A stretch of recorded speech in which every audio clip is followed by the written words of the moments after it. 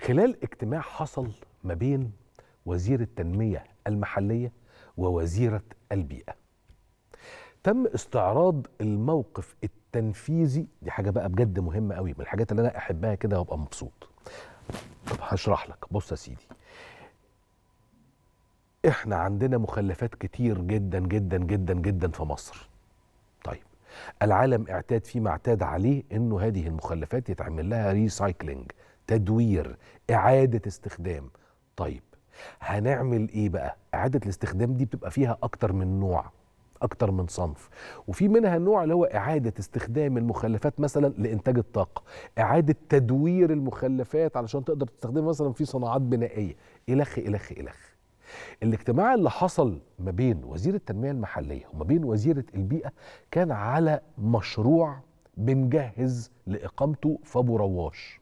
يحول المخلفات إلى طاقة. النوع اللي أنا كنت بقول لك عليه. طيب حجم الاستثمارات في هذا المشروع قد إيه؟ بالمناسبة النوع ده من المشروعات فعلا من المشروعات. اللي بتبقى تكلفتها ضخمة جدا وعوائدها برضه بتبقى ضخمة لكن بتبقى عوائد اللي هي إيه؟ بعيدة طويلة المدى شوية يعني مش سنة واثنين وخمسة وحاجات زي كده. عوائد صافية يعني. طيب الاستثمار المرة دي اللي في أبو رواش 125 مليون دولار. أنا عايز بقى نعرف تفاصيل أكتر حول هذا المشروع من دكتور خالد قاسم المتحدث باسم وزارة التنمية المحلية. أهلا بيك يا دكتور. أهلا وسهلا بحضرتك يا فندم. مساء الخير على حضرتك مساء وعلى الفل. اهلنا في محافظات مصر. ربنا يخليك يا دكتور. دكتور المشروع اللي هيتكلف 125 أو حجم استثماراته تحديدا 125 مليون دولار لتوليد الطاقة من المخلفات. تفاصيله إيه؟ وهيبدأ آه، العمل فيه إمتى؟ يعني خليني أقول لحضرتك يعني نرجع ورا شوية إن ده آه، المشروع ده يعني في محافظة من ضمن ثمان محافظات مخطط إنه يقام فيها آه، مشروعات لإنتاج الطاقة الكهربية من المخلفات. إحنا بنستهدف المخطط العام للدولة المصرية لتدوير المخلفات باستخدام هذا الأسلوب اللي إحنا بنستهدف إن إحنا ننقل التكنولوجيا المتقدمة في العالم وتوطينها آه، على أرض مصر آه، دي علشان ندور 20% من حجم المخلفات السنوية بتاعتنا.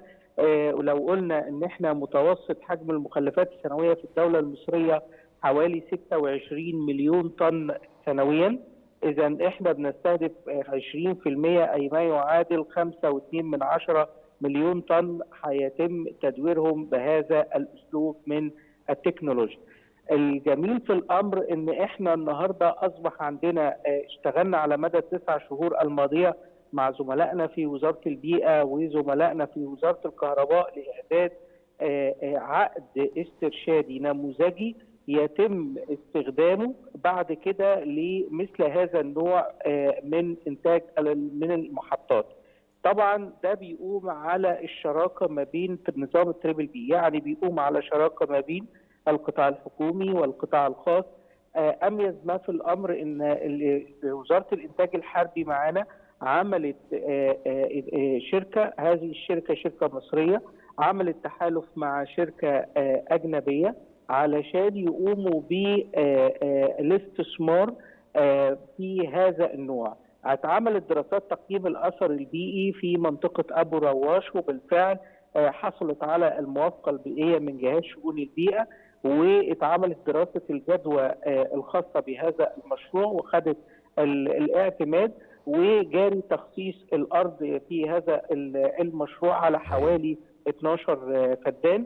هذا المشروع بيستهدف 1200 طن يوم آه، يتم تدويرهم ولإنتاج طاقة كهربية على الشبكة المتوسطة وزملائنا في وزارة الكهرباء مرفق الكهرباء آه، توزيع الكهرباء آه، بيقوموا على آه، هذا الأمر. إحنا آه، الحمد لله انتهينا من ال- العقد الخاص بهذا المشروع وتم عرضه على آه، مجلس الدولة وجاري الانتهاء تماما من المراجعة النهائية لملحقات هذا العقد. اللي هي جزء متمم من هذا المشروع آه، بشراكة استراتيجية ما بيننا وكوزارة التنمية المحلية وزملائنا في وزارة البيئة وز- وزملائنا في وزارة الكهرباء وزملائنا في وزارة الإنتاج الحربي مع آه، تحالف آه، الشركات. طبعا ده يا فندم بعد كده إن شاء الله في هيتعمل مثل هذا النموذج في العديد من المحافظات المصرية وبخاصة المحافظات اللي فيها ندرة في الأرض وكذلك المحافظات اللي بنقدر نقول عليها ملهاش ظهير صحراوي وبالتالي تعد محافظات مغلقة زي كده محافظة آه، الغربية كذلك بعض المحافظات الأخرى زي دمياط وبورسعيد والإسكندرية وغيرها. كلام آه، رائع. ومبشر إلى أبعد الحدود بصراحة دكتور خالد. طيب يعني إحنا كده طيب سؤال أخير كده هل الدراسة بيبقى أظن بطبيعة الحال موجود فيها حجم الطاقة الكهربية اللي هتبقى منتجة من خلال هذه المحطة الجديدة أو من خلال هذا المشروع الجديد. آه، هل عندنا معلومة هتنتج قد إيه ولا لأ؟ هو طبعا ده آه، آه، يعني طبعا ده وفقا لدراسات معمول حسابه إن هي تنتج ما يعادل 30 آه، آه، جيجا. طبعا ال- الأمر ده فيه أكتر من استفادة. الاستفادة الأولانية إن حضرتك بتتخلص تخلص نهائي آمن من آه، المخلفات والقاش النهائي خالص بيبقى محدود جدا ويتم الاستفادة منه هذا القاش لو كان آه، آه، طالع في شكل رماد. هذا الرماد يتم التخلص النهائي منه بشكل آمن وطبعا حجمه كمرفوضات نهائية بيكون صغير جدا. لو من ضمن هذا القاش حاجة خاصة منتجات حجرية فده ممكن نستخدمها بعد كده في عمليات تبطين الأرض وغيرها آه، لو في جزء منها معدني يمكن الاستفادة منه بشكل أو أو بآخر في عمليات صحيح. ال- التدوير الخاصة بإنتاج ال- المعادن صحيح وبالعرض يعني كده ببساطة شديدة جدا إحنا عايزين نقول إنه آه، آه، من خلال لجان فنية تم إعداد ال- النموذج الخاص ب القيمة اللي بعد كده هتبقى تقديرية اللي هي حوالي 140 قرش لل- للوحدة آه، المنتجة من ال- الطاقة.